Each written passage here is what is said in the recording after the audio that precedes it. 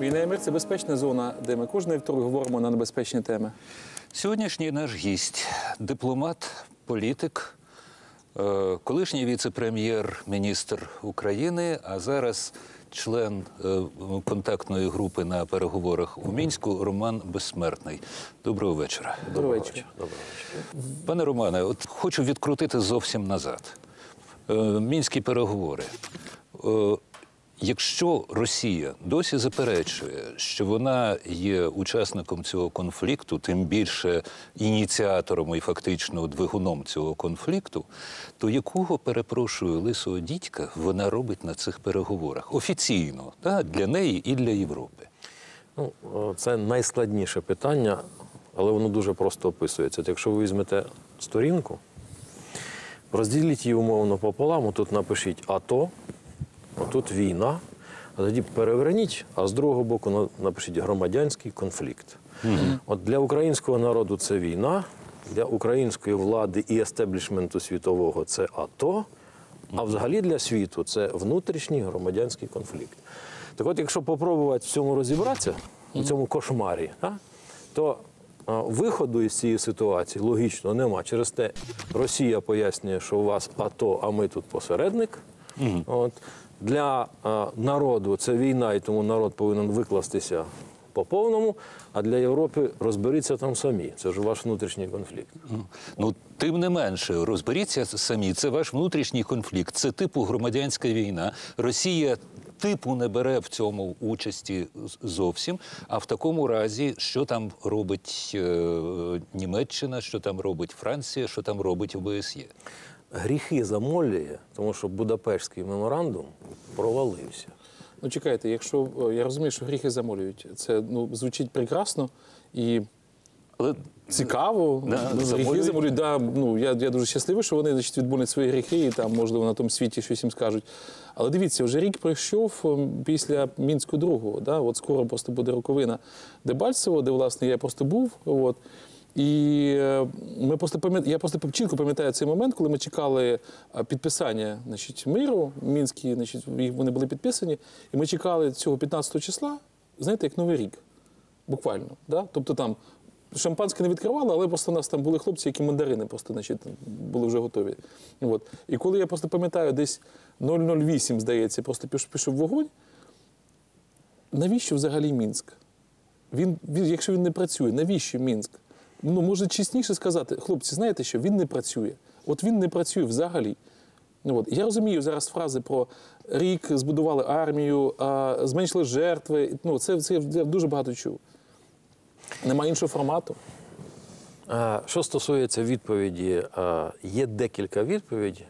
Відповідь рік назад, тому що а, був шок від розвитку подій і а, переляк і шок. І, переляк у кого? а, в усіх. І це мається на увазі і всередині України, і ззовні. Тому що те, що відбувалося, от те, що було сказано, а воно існує в документах, в відео і так далі, це був шок. І насправді цей шок ще не всі усвідомили, і переляк. Тому це перша відповідь, це відповідь станом рівно рік назад. А тепер давайте подивимося взагалі. Світова система безпеки зруйнована, європейська система безпеки зруйнована, і е, регіональна система безпеки просто відсутня. Через те на сьогоднішній день, поки у Штатах не відбудуться вибори, поки не закінчиться зміна політичного естеблішменту в Європі, не вистачає до відповіді на всі ці питання декількох компонентів. Тому Мінськ це пауза, яка буде триматися, поки по суті проблем, які були названі, не буде дано відповіді. Тобто і проблеми не скільки Донбасу, скільки проблеми світового. О, чудово, чудово. Е, Щодо світу, більш-менш зрозуміло. Штати так, е, він глобальний гравець, е, весь світ від нього залежить. Європа, я не розумію, яким чином можуть помінятися європейські еліти чи європейські дієві особи. Тут проблема в чому? ОБСЄ яке створювалось ніби як пан-система європейської безпеки, воно фактично не має інструментів. НАТО доступу до впливу на ситуацію немає. Звідси виникає проблема виникнення локального конфлікту, який за рахунок, ну вдумайте, зараз в центрі, географічному центрі Європи йде поставки зброї, озброєнь і боєприпасів, Ну, які фактично постійна війна. Постійна, це, ну, це, це кошмар насправді для світу. Е, Механізму розв'язання не існує, тому що є одна країна, яка перекреслила всі ці абсолютно підходи, які будувалися з 1946 року. Звідси відповідати сьогодні на, на ці питання діюча система координат не може. Яких-небудь толкових доладніх розробок, як це робити, немає. І виникла ця часова пауза, яка заповнюється. Трагізм в чому? Вона заповнюється конфліктом в Україні, війною і оцим от безкінечним а, мінським процесом. Зараз немає альтернативи місії ОБСЄ як, спостеріга... як, як спостерігачу війни. А, альтернатива завжди є у будь-якій ситуації. Але е, Рада безпеки блокується Росією для прийняття рішень місії Організації Об'єднаних Націй. Далі я вже сказав про ситуацію з НАТО. Фактично війти в процес неможливо. Вирішується тільки проблема ОБСЄ сьогодні як організації і можливість поліційної участі сил ОБСЄ як, скажімо, певного силового компонента в цьому процесі. Але для того, щоб і тут це вирішити, треба розуміти, що є фактор Росії. Ми спілкувалися з офіцерами з Укрполитбригади нової, яка значить, сформована. І я кажу їм: слухайте, а от дійсно, якщо у вас почнеться в Естонії чи там в Литві вашій, Росія просто піде. Ви теж будете значить, чекати, поки ОБСЄ зафіксує е, звуки вибухів, які е, можливо чи ймовірно значить, відбу- були значить, е, з- і так далі. З такої чи такої зброї. Да, да, там, з такої такої тяжкої, зброї, да, чи тої, чи такого боку. Вони кажуть, ну як же, у нас такого не буде конфлікту. Я кажу, як не буде. Ми теж вважали два роки назад, що такого не. А про це не одного разу е, звучало вже на європейських е, різного розву форумах. Можливість автоматичного вступу, скажімо, НАТО у такий конфлікт. Можу вам сказати, що навіть НАТО сьогодні всередині задається питання можливості от такого автоматичного приміну. От давайте подивимося на ситуацію. Вибачте, що я вас Да, ні, правильно, ні, да. от да, згадайте, цього згадайте перші ракети, які пролетіли з Каспійського моря до Сірії через території країн. Всі знають, що таке система Іджіс. Це система, яка автоматично включається, і вона працює на трьох етапах: коли ракета злітає, коли вона досягає піку, і коли вона е, спрямовується в ціль. Це означає, що оператор, який сидів тричі, вимкнув систему, щоб вона автоматично не спрацювала. Але ж ракети пролетіли над територією члена Північно-Атлантичного блоку. Турції. Туреччина. Так, так, Туреччина. так. Тобто ось вам відповідь на питання автоматичного вступу в дію, якщо проявляється агресія. Я не випадково почав з того, що світ на сьогоднішній день він філософський, він не готовий до от такої автоматичної протидії тому, що відбулося. І ви правильно абсолютно ставите питання. І це, це теж така ж сама задача. Ну, Хто не розуміє, що 5 тисяч біженців Норвегії не могли просто так проїхати по території Росії? Як вони з'явилися? На велосипедах проїхали? Ну, Але ж вони з'явилися там. А що Норвегія і Фінляндія були готові, щоб поставити заслон? Ні, вони їх мусили акцептувати. Ось і все. Е, Що стосується конкретно тих е, країн, які межують із Росією і які безпосередньо піддаються цій загрозі, вони можуть теоретично на цю хвилину, не взагалі там абстрактно, а е, на сьогоднішній день усвідомити спільну загрозу і спробувати взаємодіяти в рамках цієї загрози. Я завжди, коли відповідаю на це питання, от згадую трансформацію позицій країн європейських, наших сусідів, от від подій в Тбілісі в Грузії до нинішньої ситуації Крим, Донбас. Вирвали питання. Ще в Криму, ще в Криму Європа не розуміла, що насправді відбувається пряма відверта агресія. Сколихнулись тільки коли почали стріляти, причому із зброї масового враження на територію Донбасу. Тоді всі в кінці кінців перелякалися. Тому оця трансформація, от, світ зачарувався, особливо оця, оце- цей континент, він зачарувався мирним життям. Ми забулися про те, що для того, щоб жити мирно, треба постійно готуватися до війни. Знаєте, от як кажуть, Не хочеш годувати свою армію, будеш годувати чужу армію. Ось ось де проблема останніх років, десятиліть. У вас в якомусь з ваших інтерв'ю е, я читаю, що світові тенденції конфліктів ідуть шляхом загострення, а ми намагаємося йти, так мовити, напроти, напроти фазі. Що е, невже е, цей мирний період е, добігає кінця, і світові треба готуватися до нового вибуху? Я би сказав так. Так він раз від зараз не, не відбувається цей вибух? Ми знаходимося на етапі фактично гарячої фази цього глобального конфлікту. Світові треба бути адекватним. Для того, щоб зупинити розростання, йому треба бути адекватним і зрозуміти, коли застосовується силовий фактор, треба давати у відповідь точнісінько так. Тому що якщо ми дозволяємо про цей процес розтягувати, ми просто простеляємо червону доріжку насиллю у світі. І це буде множитись. І от я скільки не зустрічаюсь там з дипломатами, з політичними керівниками держав, оце вмовляння безкінечне, що а давайте ще подивимося так, а давайте так, а от а, а, а якщо поставити, як, як зробити так, це закінчиться трагедією. Як тільки відбувається певне порушення міжнародних протоколів, міжнародних актів, треба негайно реагувати. Ну, ось дивіться, Організація Об'єднаних Націй передбачає існування силового компоненту. Там є в статуті штаб по управлінню силовими. З 46-го року це не було реалізовано. Виникає питання, що з 46-го року, ще маючи гарячі Так. млинці на столі, які вибухали, що не було зрозуміло, що треба до цього готуватися. Ні, ні. Вважали, що все можна заговорити. От договорилися до того, що світ сьогодні входить в полосу колосального глобального конфлікту. І це конфлікт з е, передусім е, з е, нашим північним Це конфлікт. Цивілізаційний, мені це здається. цивілізаційний О. конфлікт. Це очевидно, що це цивілізаційний конфлікт. І якщо там розглянути теорію питання, то він завжди совувався на схід. І завжди всі, починаючи з 18-19 століття, писали. І фіналом цього є праці Хаусфофера, Маккіндера, які говорили про те, що цього конфлікту з Росією не уникнути. Він обов'язково виникне. Це пограниччя, східний кордон України, Білорусі, країн Балтії, воно обов'язково зіткнеться із тим, що виникне цивілізаційна із-за із-за вибору, абсолютно суперечливого протилежного вибору. Причому цей конфлікт виникав, він десь у раз, раз на 300 років він постійно виникав. Постійно спалахувала війна в цьому у цій полосі.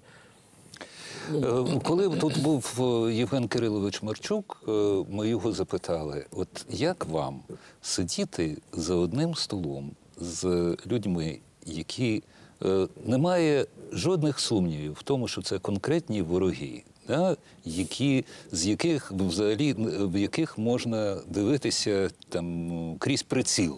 Да? І як ви почуваєтеся, коли ви з ними спілкуєтеся? Суб'єктивно. І я добавлю ще ну, до цього питання, тому що воно як продовження да, звучить. От ви кажете, сказали слово вмовляти. Да, ви постійно, ну от є росіяни, з ними там якось зараз ви ск- від, від, відповісте, а є європейці, яких треба вмовляти, їм треба щось доказувати, їм треба розказувати щось. В принципі, як на мене, Європа, звичайно, наші други, друзі, але ну невідомо, чи треба такі друзі. Ну, те- що стосується, скажімо, е, самого переговорного процесу, то е, його, е, от, його жорсткість у тому, що він носить дипломатичний формат. І ти хочеш, ти не хочеш, ти мусиш це робити. Тобто морду не даси. Да. І тут ви зрозумієте, я викладач дипломатичного протоколу. Я дуже добре знаю, от, як зробити так, щоб залити смальцю за шкіру, але при цьому не дряпати обличчя. Розумієте, це вже, це вже справа майстерності і того, як ти ведеш цю, цю бесіду, і як ти там е, схиляєш голову, чи як ти повертаєшся, як ти дивишся на, на свого візаві. Але е, цей формат він має певні вимоги, і е, треба триматись цього цих вимог. Чому? Іначе на тебе будуть дивитися як на дикуна. О, Тому е, тут уже, вибачте, це правило, і це святе правило, якого треба дотримуватися. Тепер вмовляти. По відношенню до європейців нам треба продовжувати їх вмовляти. По відношенню до Росії треба займати абсолютно чітку позицію. Там вмовляти нікого.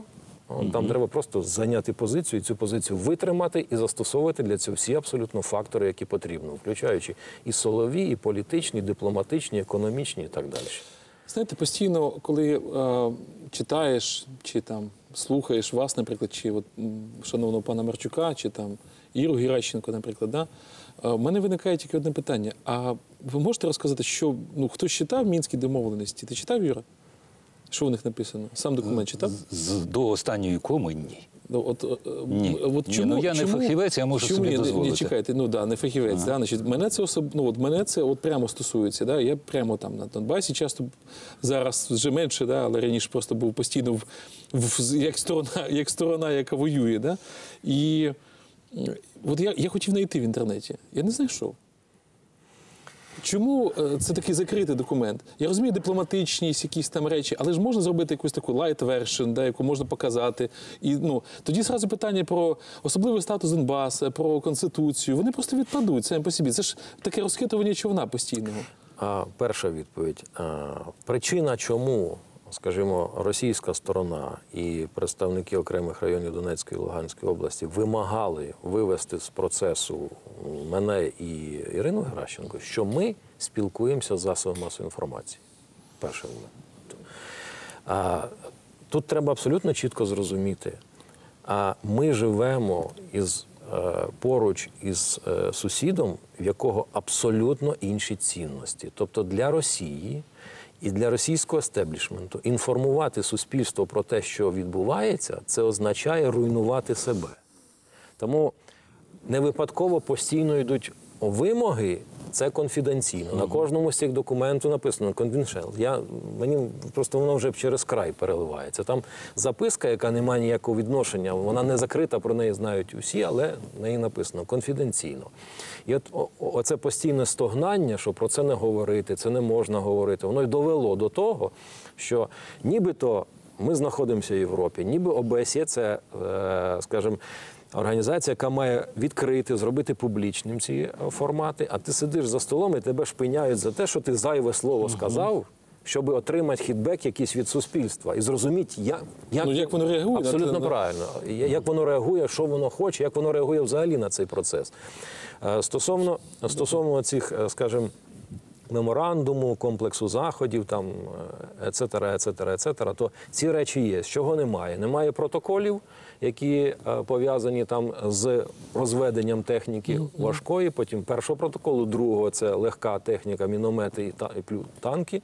Оцих документів немає. Причина там дуже проста. Там зазначено позиціювання, от, розташування, географічні точки. Ні, це зрозуміло. Ні, це зрозуміло. Ні. А от загальнополітичні документи, ви тут абсолютно праві. От, тим більше вони мають статус домовленостей. Це ж не, ну, не якась там.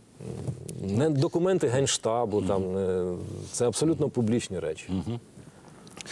Гаразд. Вимоги, е, політичні вимоги. Вимоги щодо амністії, е, виборів, е, е, так, е, своєї міліції, так званих ТНР і ЛНР, які взагалі то ну, личать не просто там автономії, а фактично там окремому державному утворенню в рамках конфедерації і не менше. Вони ж це ці вимоги офіційні. Да? Вони освячені так мовити цим переговорним процесом. Е, європейці усвідомлюють ну, всю безглуздість такої постановки питання з точки зору, врешті-решт, міжнародного права. Е, Таке право. Тут, тут, е, тут є речі, які от по повному спектру проблем вони присутні. От е, якщо ми аналізуємо там аналоги, то це називається процес реінтеграції. Що є суттю процесу реінтеграції? Це повернення в громадянство. Тобто базою чого е, теоретично є група осіб, здійснила злочин і фактично вийшли за межі от, е, конституції, права. І тому це справа суверена українського народу, уповноважених на- на те органів, приймати рішення, що робити із цими особами, з цим конфліктом і так далі. Тепер з чим ми насправді в даному випадку маємо справу? А, вони класифікують себе як повстанці проти якогось режиму. Тобто це абсолютно різні правові да. абсолютно о, все починається з елементарних речей, з понятійного апарату. Тобто для України це злочинці, які а, здійснили злочин проти суверенітету, територіальної цілісності, вчинили кримінальні злочини по відношенню до життя. Майна е, там інших інших речей вчинили злочини, які підпадають під 6-8 статтю Римського статуту, тобто це злочини проти людяності. А назустріч ми отримаємо відповідь: ми повстанці. Ми повстанці, бо ми боремося проти якогось режиму. І от оце, от, оця ситуація, при якій давайте нам амністію, давайте нам імунітет, іначе ми продовжуємо стріляти. Ось де. Звідси е, європейці, які сідають за стіл переговорів, вони. А як вирішить, от, коли воно кардинально протилежне? Це як куля в кулю. Ага, значить, треба. От давайте тепер думати, що робити з питанням амністії. Відповідь. Будь ласка, є закон, який вимагає індивідуальну амністію. Ні, індивідуальна амністія не підходить, нам треба колективна. От як колективна? І що? От, списком. І тих, хто кого силою змусили взяти автомат, бо там є такі, дійсно, це правда. І тих, хто організовував ці процеси, хто проводив паради військовополонених, хто катував, хто брав заложників. Як це? І цих так, так само списком, коли ці злочини вони не мають терміну. От їх, їх будуть розслідувати завжди. Людей цих будуть знаходити, притягати до відповідальності. І от оце ось, оце ось, оце, оці підходи насправді, коли кажуть, що ви ним займаєтеся, ну добре, амністія. А тепер, а тепер от давайте ще імунітет введемо. Е, Вимоги імунітету виглядають взагалі дивними. Чому? Тому що е, держава не контролює цю територію. Як вона може звільнити когось від якогось процесуального переслідування? Тобто вона не впливає на процес. Тепер е, амністія. Для того, щоб провести амністію, треба, щоб діла прокуратура, суд, слідчі органи, а на території їх немає. Тобто для того, щоб це почало. Ні, давайте от перед тим, як там провести якісь вибори, давайте проведемо амністію. Як? Ні один міжнародний документ не запускає такий механізм амністії, бо вона завжди носить індивідуальний характер. Як приклад, приводиться Південно-Африканська Республіка, там апартеїд і так далі. Це Росія такими термінами? е, Так, безперечно. І приклад Тобто, значить, ми е, угнітаємо е, чернокоже населення. І, і приклад, цікаво, і приклад Чечні. Я взяли ми цей приклад Чечні. Так там було більше амністовано а, солдат Збройних сил Російської Федерації, ніж солдат е, чеченців. Тобто стає зрозуміло, для чого нам е, втискають таку, таку проблематику. От, але я вам скажу так, що це, це ще розмови, це як е, маневри, тому що до цього треба розв'язати питання безпеки. Ні, ну ключове просто питання реакції на ну. На, на постійні обстріли. Я, ну, тому що, дивіться, от е, я досить довго не був в зоні АТО, там з травня 2015 року, потім зараз повернувся. І перед Новим роком, да, здається, Юра, у нас там була операція в цій Красногорівці. А, Я просто приїжджаю, ми працюємо в районі. Це ти мене питаєш? Да, я, я просто не пам'ятаю вже. От, ми працюємо в районі лікарні, і там, значить, от прямо от ми чуємо, да, значить, як працює міномети, як просто працює СПГ-9 з тої сторони, значить, гранатомет. От. Потім просто значить, йдуть обстріли з БМП, 30-ка просто пішла. А я точно знаю, що у нас цього немає. Да, ну, ну, 100%. І з нами люди з ОБСЄ, я кажу, хлопці, що ви робите? Ну, от, от, звід. І я, вам- Євген Кирилович нам казав, що кожен випадок порушення мінських домовленостей сразу фіксується, сразу по скайпу збирається конференція. Коли я чую, бачу цифри, 56 обстрілів, там, двоє загиблих, там, 26 обстрілів, там, один загиблий, один поранений. А, ну, яка реакція? Що ви робите? Як це фізично виглядає, розумієте? От ви тільки що до початку ефіру сказали, що там француз захворів. Окей, він хворіє, наші гинуть. От. Значить, там нормандський там четвірка. Ті збираються, наші гинуть. Я розумію, що я зараз можу зіграти не на тій стороні, але саме незадоволення самим процесом, воно може ну, вже ну, наскільки збурено. От. Знаєте, я про- Особливо люди, їх знаєте, про- які просто мають захищати там. На... Проілюструю вам о, фрагментом останнього засідання трьохсторонньої контактної групи, коли представник від України тричі задає посереднику ОБСЄ питання. Скажіть, будь ласка, а в чому, от в чому причина, що на лінії розмежування по Луганській області втричі чи в чотири рази менше стрільби, ніж на лінії розмежування по Донецькій області? І а той просто бере, зачитує звіт е, СММ ОБСЄ. Такій-то годині стільки-то вистріли в такому-то напрямку орієнтовно з такої-то зброї. Представник України ще раз каже, скажіть, будь ласка, може нам треба комусь подякувати за те, що там він знову повторює ті ж самі фрази. Тоді-то, тоді-то вистрілили стільки-то, стільки-то раз. Представник від України ще раз каже: скажіть, будь ласка, в чому причина, що на одній території є, а на одній ні? Він, коли він отримав ту ж саму відповідь, він каже: ага, тобто я зрозумів, що ви не впливаєте на ситуацію, ви її можете лише констатувати. Це правда. Це правда, що ОБСЄ може лише констатувати, але воно не може застосувати ні санкцій, ні вплинути на те, стріляти чи не стріляти. Ну це очевидно. Альтернатива є? Альтернатива всьому, всьому цьому є, якщо буде на то рішення Ради безпеки ООН чи ОБСЄ пов'язані з застосуванням силового фактора у цій ситуації. А як Рада безпеки може Тепер, тепер як розв'язується ситуація кардинально? Вона розв'язується тільки шляхом зупинки, насищення цієї тери- території зброєю і особливо боєприпасами. Кордон. Кордон. А для того, щоб а, ми зрозуміли, що російська сторона хоча б має наміри, вони мають відкрити гуманітарні конвої, тому що це на сьогоднішній день основна а, канал постачання. Більше того, ОБСЄ конвої на залізниці? я зараз скажу. В тому числі вони мають до- допустити контроль ОБСЄ до залізничних і вантажних е, Вузлів. вузлів, які, через які йде поставка, очевидно, боєприпасів. Тому що аргумент про те, що ці боєприпаси були захоплені на цій території, ну, вибачте, він, це, це говорять люди, які не знають, скільки за секунду з автомата Калашникова вилітає патронів. От і все. Тобто, очевидно, що інструмент дуже простий. Немає такого акту сьогодні в світі чи в Європі, який би дозволяв от такі об'єми зброї і боєприпасів поставляти на цю територію. І от, от це треба зробити. Хай росіяни продемонструють, що вони оце, оцей крок, малесенький крок, допустити ОБСЄ, припинити поставки туди зброї, і ситуація почне змінюватися. Ну, але ж вони в цьому не зацікавлені.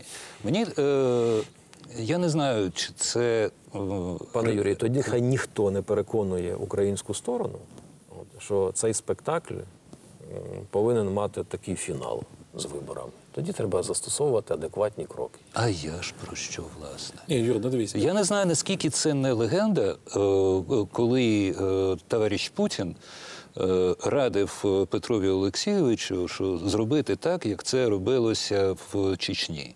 Тобто знайти там ну, лояльних лідерів і залити це грошима і закрити. Теоретично ми можемо припустити, ну виходячи з е, суворої реальності, що ми знайдемо серед е, цих, е, перепрошую на слові, покидьків, когось, на кого хоча б на кого можна було би покластися в сенсі того, що він ну, конкретно не надурить, і далі вже працювати з цими умовними гіпотетичними людьми, на кого можна спертися.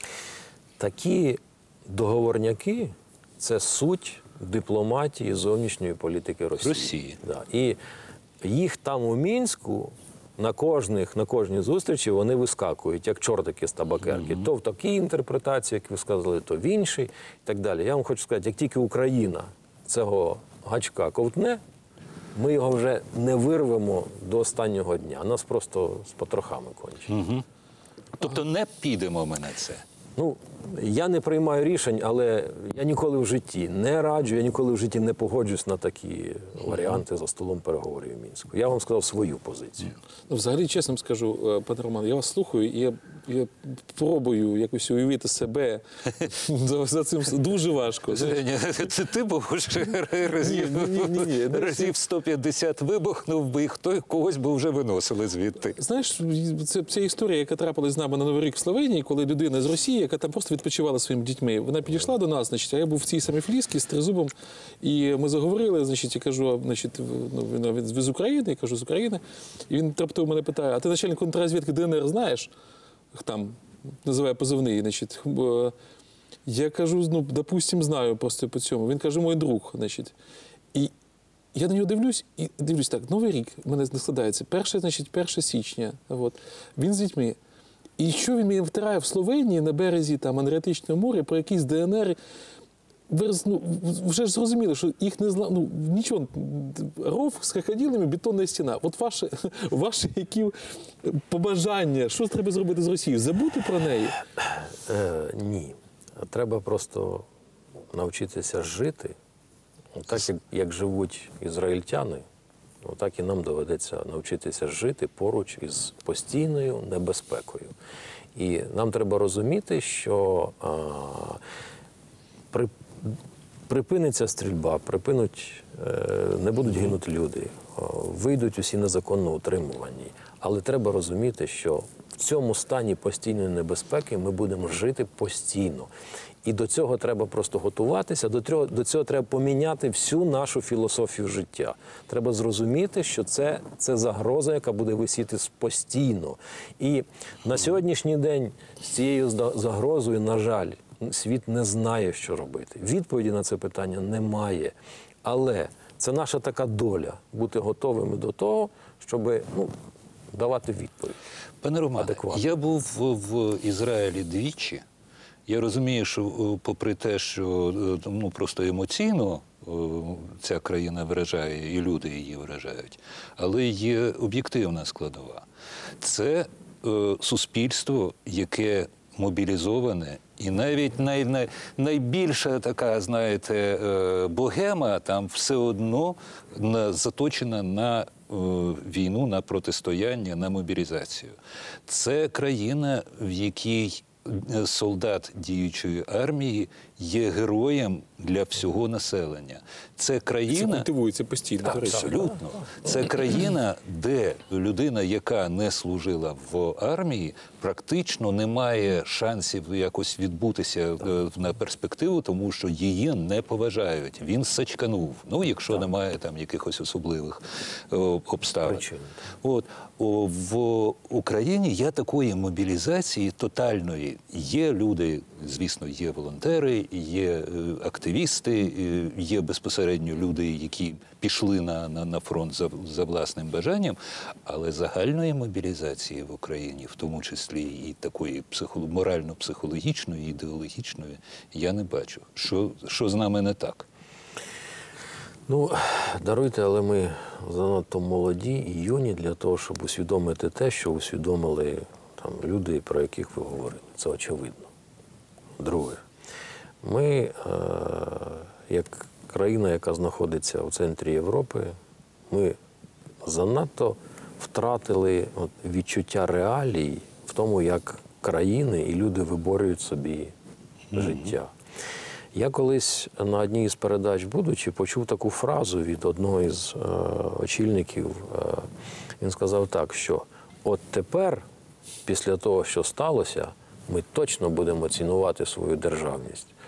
Ви знаєте, мене до землі прибила ця фраза, тому що в перерві я йому е, сказав, кажу: а як ви думаєте, оце ось ці мільйони, які загинули ну, там, під час голоду, під час війни і так далі, вони не є уроком того, що насправді. І отут я, отут я дуже боюся, що завдання, от яке очевидно, нам треба вчитися тому, про що я сказав. Чи воно підйомне для нас? От цього я боюся. Чи ми можемо зрозуміти це і жити, от, щоб солдат був у нас героєм, от, щоб ми вилаштовували своє життя таким чином, щоб ми годували свою армію, щоб потім не годувати чужу.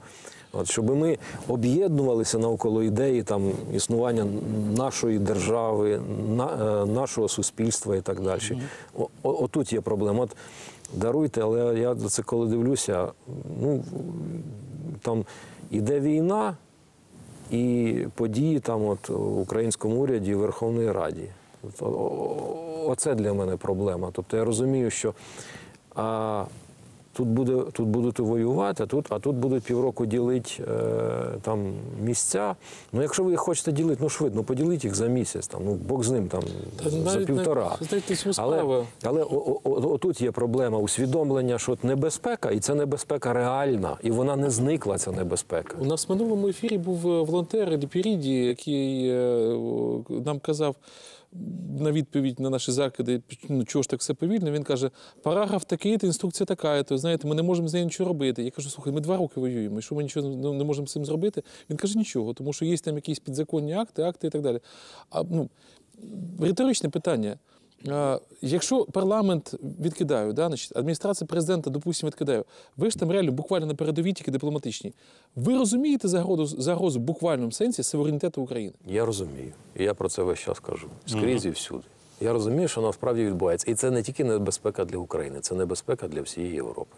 От зараз ми більш мені, здається, от ваше просто враження. Чи е, от два роки, в мене таке враження, що два роки тому ми були, як на це дивно звучить, більш готові ментально, психологічно до агресії і до боротьби, от, чим зараз. Ми були емоційно готові, це правда, але е, людина це така особа, яка з одного боку звикає до всього чого завгодно, і вона вживається і їй набридає. І вона починає втікати від проблеми. Проблема, яка не вирішує, починає дратувати, і людина від неї втікає. Це говорять усі психологи. Тому очевидно. А те, що стосується документів, я завжди привожу приклад. Візьміть е, статут, е, статути Збройних сил е, там, Ізраїлю і порівняйте з нашим. Ви все зрозумієте. Тобто, ясно. Гаразд. Чи правильно ставиться питання, ну, зокрема, президентом країни? Або Мінськ, або війна? Справді така альтернатива? Ну, скажімо так, Мінськ це може бути не тільки географічно Мінськ. Ну, зрозуміло, зрозуміло. Тобто мова йде про просто переговорний процес. І в цьому відношенні він абсолютно правий. Що а поки є шанс вести діалог, його треба вести, але розуміти, хочеш миру, готуйся до війни. А які шанси, що е, вдасться е, перевести е, цей явно невдалий, перепрошую, нормандський формат у щось більш прийнятне для нас? Ну, хоча б за участю Сполучених Штатів. Єдність Європи здатна забезпечити як підтримку України в розв'язанні цього цієї проблеми, в тому числі зміни формату і участі інших держав. Це місток до розв'язання проблеми. Оце от хитання Європи. Європа, яка стоїть на, на порозі своєї там цілісності, питання про свою цілісність, оце, оце проблема. І тому можна про що завгодно говорити, тому що Будапештський меморандум розвалився із-за протиріч в Європі.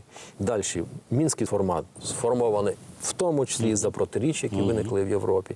І тому, якщо вдасться досягнути і українській дипломатії пояснити Європі, що насправді відбувається, тоді є можливість говорити про формати. Не знаю наскільки це доцільно, от але про це можна говорити і, і треба говорити, тому що за цим стоїть безпека європейського континенту.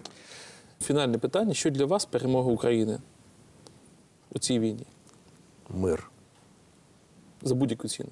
ні. А тоді, будь ласка, поясніть. Мир ясно.